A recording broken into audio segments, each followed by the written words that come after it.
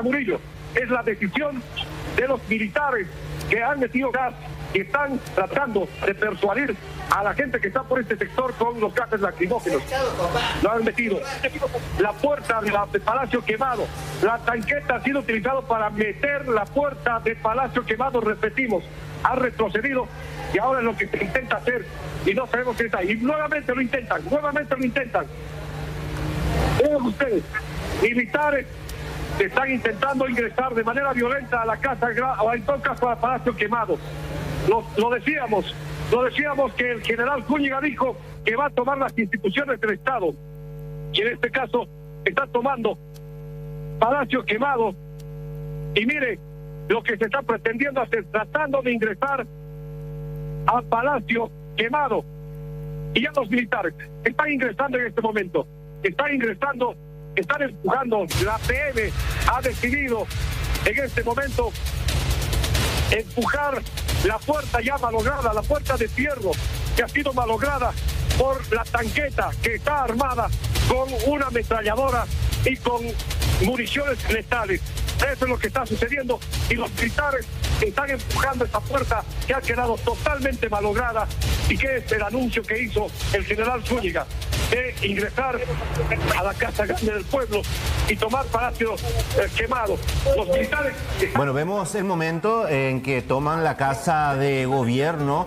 Eh, primeramente lo hicieron con tanque, que lo escuchábamos en el relato y lo estábamos observando. Eh, se llevó por delante lo que es el portón principal y posteriormente ya el ingreso de los integrantes de la tropa. Exactamente, hablamos en las inmediaciones de la Plaza Murillo, justamente donde se encuentra la casa de gobierno. Escuchábamos que en este caso el, colega mencionaba casa quemada. De alguna manera es la forma en que dicen en Bolivia a este palacio, palacio quemado, ya que hay un antecedente de que en una oportunidad ya este espacio se quemó en un contexto también de mucha, mucha violencia. Hoy la comunidad está realmente impactada.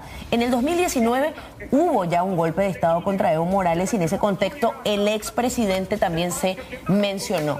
Y lo tenemos al colega Roberto Solís para actualizarnos la situación. Roberto, contanos por favor cuál es el ambiente a estas horas en Bolivia. Buenas tardes. Buenas tardes, sí, efectivamente, a esta hora de la tarde ah, se ha suscitado ya un ingreso de los militares que hacían eh, una forma de protesta en la Plaza Murillo, han ingresado hasta el Palacio de Gobierno en este momento ya para poder eh, aparentemente tomar este lugar, pero todavía no existe una versión oficial de lo que está pasando aquí en la ciudad de La Paz, en el Palacio de Gobierno. Lo que sí han dado a conocer las autoridades como el ministro eh, de Gobierno es que se han visto sorprendidos por el movimiento militar que se había gestado desde tempranas horas de la mañana en la Plaza Murillo, cerca al Palacio de Gobierno. Y esto ha generado una tensión en el lugar. Inclusive el mismo presidente Luis Arte, a través de su Twitter, ha dado a conocer su postura acerca de esta situación, asegurando de que no conocía por qué se estaban generando este movimiento de militares en la Plaza Murillo y que esto generaba también un temor. Pues en este momento han ingresado ya los militares a la cabeza del general Zúñiga, quien días anteriores en un medio de comunicación había dado a conocer su postura acerca de cómo se estaba llevando la gestión de gobierno, además de ex autoridades que señalaba que no tenían posturas para poder presentarse hasta las eh, candidaturas de las próximas elecciones del 2025. Esta es la información que se tiene a esta hora de la tarde. Hay mucha tensión en todo el país, teniendo en cuenta de que los militares han cercado Plaza Murillo y han ingresado y en este momento hasta las instalaciones del Palacio de Gobierno. Se desconoce en este momento cuál es la situación del mismo presidente Luis que se encuentra en el Palacio y se desconoce cuál es el informe oficial que se tiene porque no han dado a conocer todavía de lo que está sucediendo dentro del Palacio de Gobierno con los militares que han ingresado a esta hora de la tarde. Roberto, de lo que estábamos observando, utilizaron estos tanques primeramente para ir enfrente y luego ya el resto de los eh, de la tropa que ingresa hasta la casa de gobierno por las imágenes que estamos viendo.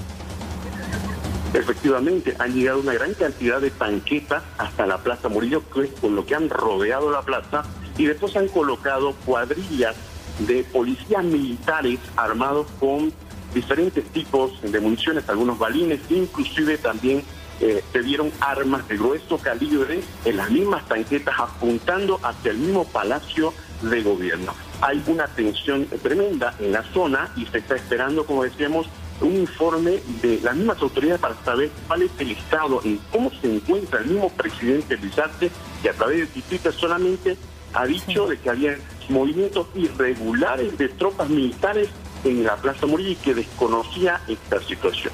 Ahora, en ese punto hablamos Plaza Murillo, hoy centro neurálgico de todo lo que está ocurriendo. Vemos muchos colegas eh, de diferentes medios de comunicación. Organizaciones civiles ya se llegaron hasta ahí. Estamos hablando de un momento de máxima tensión. Estamos hablando de un contexto muy peligroso. Efectivamente, hay eh, diferentes sectores sociales que han llegado a la Plaza Murillo, pero no han podido ingresar. Están hasta afuera de la Plaza Murillo. Algunas personas inclusive han tirado piedras, han tirado, han arrojado objetos hacia estos militares, pero han respondido con gases en algunos casos.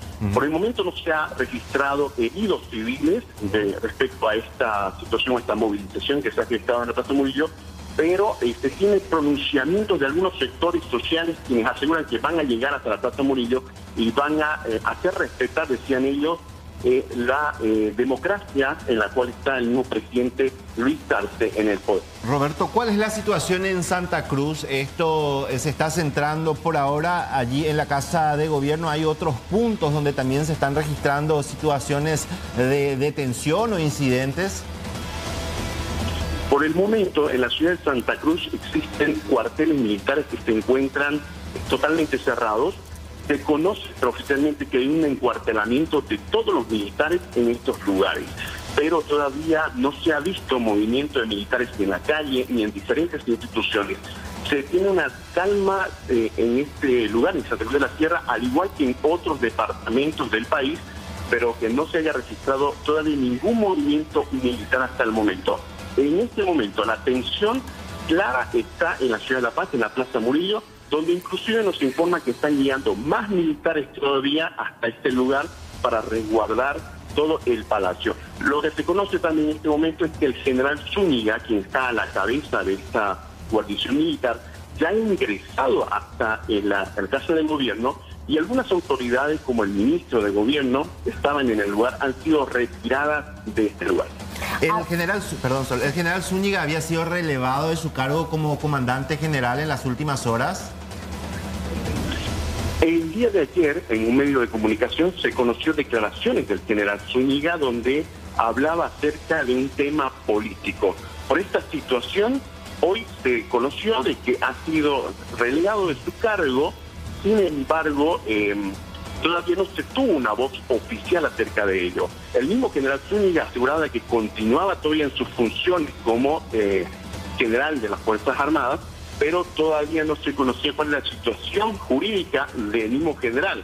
Lo que sí se conocía es que em, se tenía una información desde el Palacio de Gobierno que él había sido relegado.